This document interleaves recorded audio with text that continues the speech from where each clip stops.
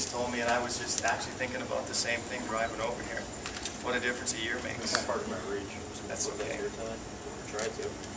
There we go. Yeah. You know, last year it was a lot of enthusiasm and excitement, and this year I guess it's a little bit the same, but quite a bit different. huh?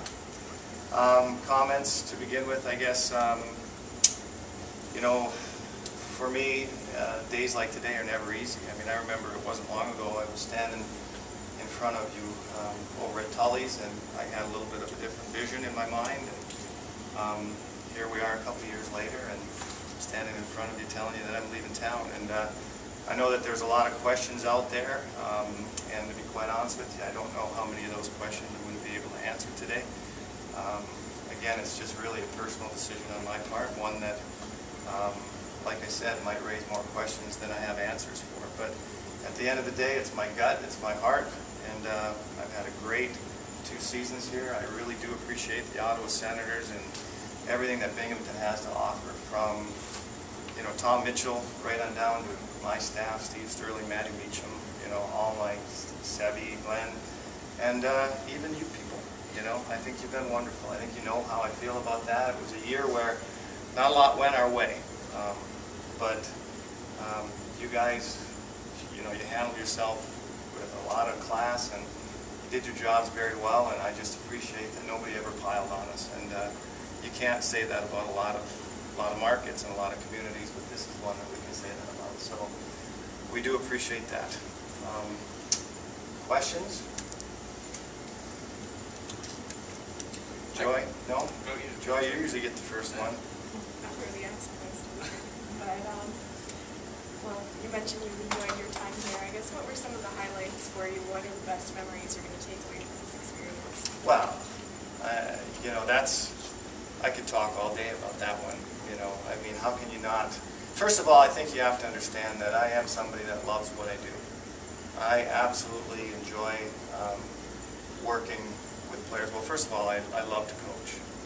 But then when you throw that to the side, uh, the fact that you have an opportunity to work with young players, to help young players develop, help young players to get uh, be good pros. Um, you know, that's all part of it. But then, you know, you get into the winning. Winning is a lot of fun. Last year's championship was probably more than a lot of fun. I don't know that you can ever win a championship and not say that those are special days, special moments, and um, and you don't get many opportunities to do that. So that's just a few.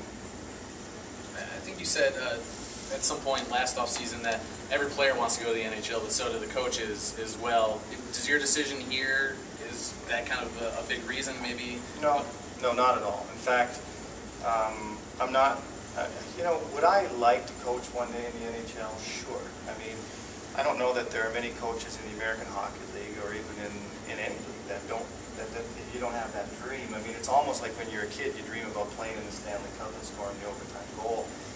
You know, once that dream is behind you, then as a coach, when you get in this position, obviously it's something that you'd like to do. Um, but I got to be honest with you, it's never been what drives me.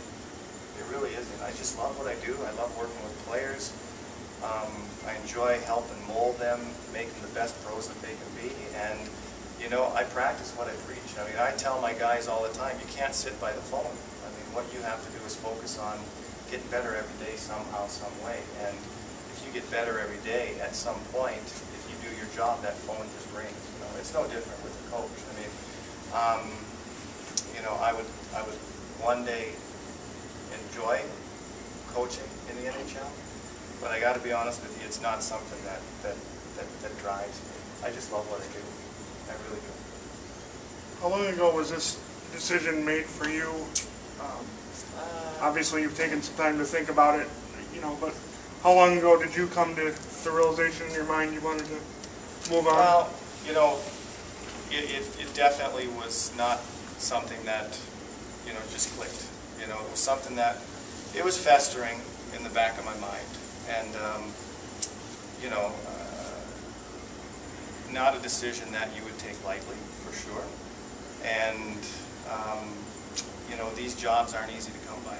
You know, I know there's 30 jobs in the NHL. They're not all open. They're not all available. So, you know, and, and on top of that, I don't know too many teams that are looking for coaches that just finished in last place. So, I mean, we can throw that one right out the window. Um, uh, there's 30 jobs in the American League, but right now, me walking away from this one, I think there's three available.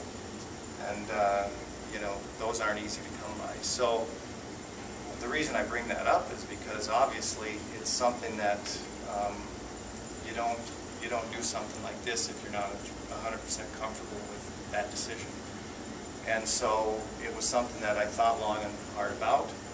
Um, and you know, shortly after the season was over with, I knew it was the right thing do. You have any idea what's next for you or uh, any No ideas? I have no idea. I have no idea. And this is just the way I work.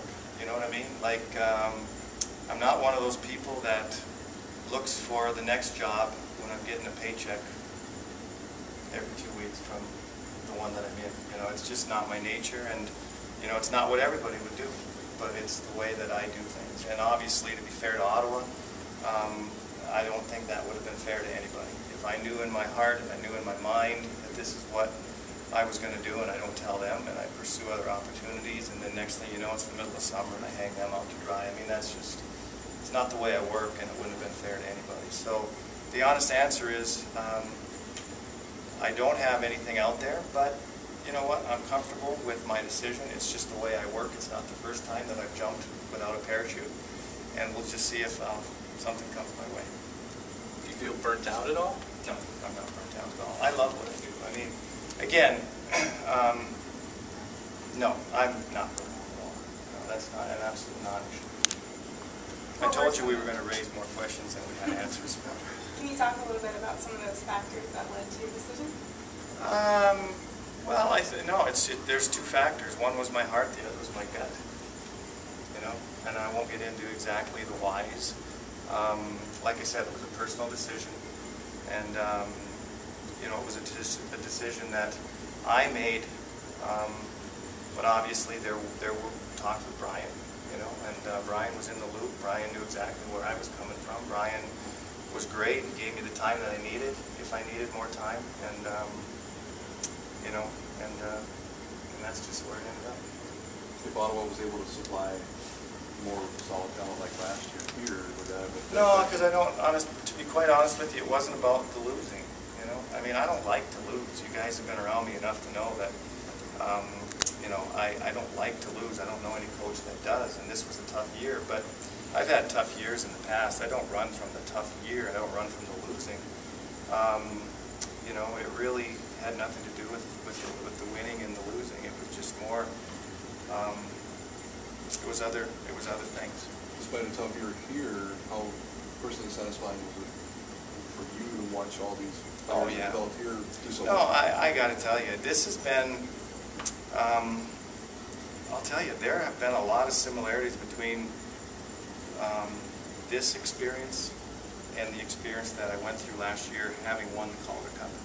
Just on a different scale. I mean, last year, when we won the cup, I really had no idea, um, the magnitude of winning the cup and how people were paying attention and, and then people in today's world have started reaching out to you and a lot of text messages and congratulations and all that other stuff.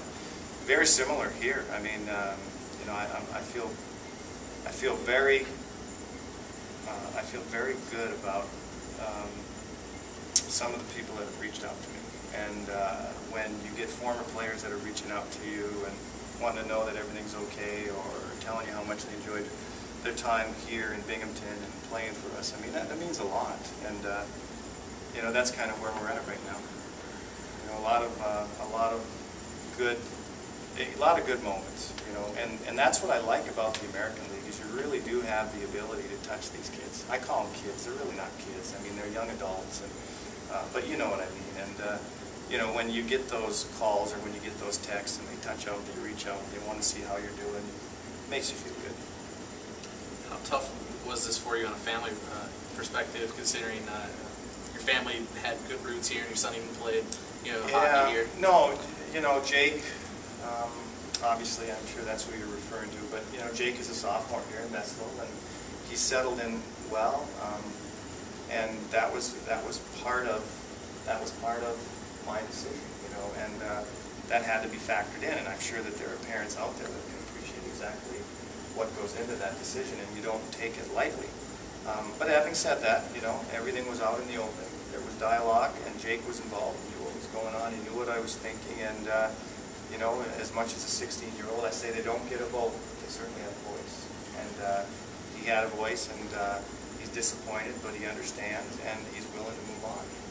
And so I think that shows the maturity of Jake, but at the same time, I think you have to understand, not that it's for everybody, this is just the way we live our lives. You know, I mean, since my kids were little, um, you know, we've had the the experience of the world. I mean, we've lived in a lot of different places. I mean, we've been all over Europe. Um, We've had quite a few stops along the way here in the States. So it's not like we lived in one community or one home for 16 years and then decided to uproot our family. I mean, this is something that we've done in the past, and um, I've got three adult children, and every one of them to a T will tell you that they would, that they've enjoyed what we do.